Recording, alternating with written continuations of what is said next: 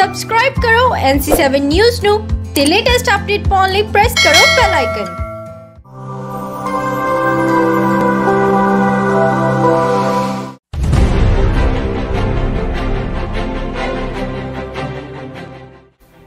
ਝੋਨੇ ਦੀ ਫਸਲ ਮੰਡੀਆਂ 'ਚ ਆਉਣੀ ਸ਼ੁਰੂ ਹੋ ਗਈ ਹੈ। ਸਰਕਾਰ ਦੇ ਵੱਲੋਂ ਇਸ ਦੀ ਖਰੀਦ ਅਤੇ ਪਟਮੈਂਟ ਕਰਨ ਦੇ ਦਾਅਵੇ ਵੀ ਕੀਤੇ ਜਾ ਰਹੇ ਨੇ।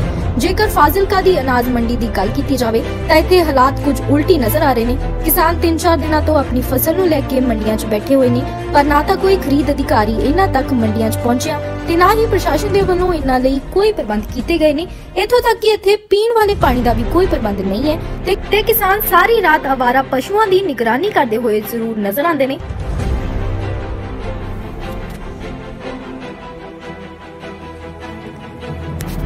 ਉੱਥੇ ਕਿਸਾਨਾਂ ਨੇ ਕਿਹਾ ਕਿ ਉਹਨਾਂ ਦੀ ਮੰਡੀਆਂ ਦੇ ਵਿੱਚ ਲੁੱਟ ਹੋ ਰਹੀ ਹੈ। ਉਹਨਾਂ ਕਿਹਾ ਕਿ ਸਰਕਾਰ ਨੇ ਕਿਹਾ ਸੀ ਕਿ ਮੰਡੀਆਂ ਦੇ ਵਿੱਚ ਕੰਪਿਊਟਰ ਕੰਡਿਆਂ ਦਾ ਪ੍ਰਬੰਧ ਕੀਤਾ ਜਾਏਗਾ। ਪਰੰਤੂ ਹੈਰਾਨੀ ਦੀ ਗੱਲ ਇਹ ਹੈ ਕਿ ਮੰਡੀ ਦੇ ਵਿੱਚ ਇੱਕ ਵੀ ਕੰਪਿਊਟਰ ਕੰਡਾ ਨਹੀਂ ਜਿਸ ਕਾਰਨ ਅਨਪੜ੍ਹ ਕਿਸਾਨਾਂ ਦੀ ਲੁੱਟ ਹੋ ਰਹੀ ਹੈ। ਉਹਨਾਂ ਸਰਕਾਰ ਅਤੇ ਪ੍ਰਸ਼ਾਸਨ ਤੋਂ ਮੰਗ ਕੀਤੀ ਕਿ ਉਹਨਾਂ ਨੂੰ ਮੰਡੀਆਂ ਦੇ ਵਿੱਚ ਚੰਗੀਆਂ ਸੁਵਿਧਾਵਾਂ ਦਿੱਤੀਆਂ ਜਾਣ।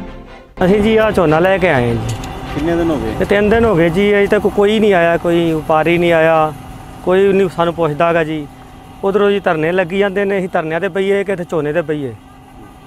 ਬਹੁਤ ਬੁਰਾ ਹਾਲ ਹੈ, ਇਹ ਮੰਡੀ ਦਾ ਵੇਖੋ ਤੁਸੀਂ। ਕੋਈ ਇਹ ਵਪਾਰੀ ਨਹੀਂ, ਕੋਈ ਕੁਛ ਨਹੀਂਗਾ ਕੋਈ ਵੀ ਸਾਡੀ ਕੋਈ ਸੁਣਦਾ ਨਹੀਂਗਾ ਬਹੁਤ ਬੁਰਾ ਹਾਲ ਹੈਗਾ ਜੀ। ਕੁਛ ਕਰੋ ਤੁਸੀਂ।